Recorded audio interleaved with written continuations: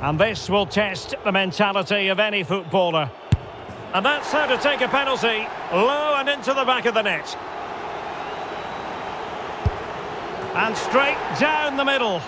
Can he get the better of the keeper? And he succeeds in finding the bottom corner. Well, he couldn't quite hit the desired target. Goalkeeper beaten from the spot.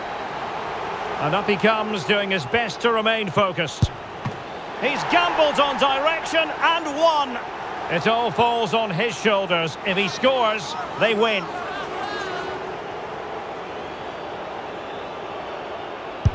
And the outcome they were hoping for. They've made it through to the final. Well, that was a really confident penalty with so much at stake, and I think the better team have gone through here.